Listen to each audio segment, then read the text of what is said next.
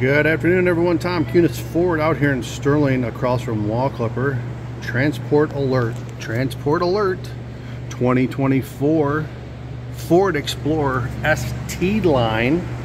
So for anybody out there that's been looking for an ST but doesn't want to pay that $65,000 price tag, we got this one here for 52000 Take a walk around this real quick for you. If you or anybody that you know has been looking for a really really nice Explorer I got this one here for you literally just came in. Third row split captains full panoramic all the safety features.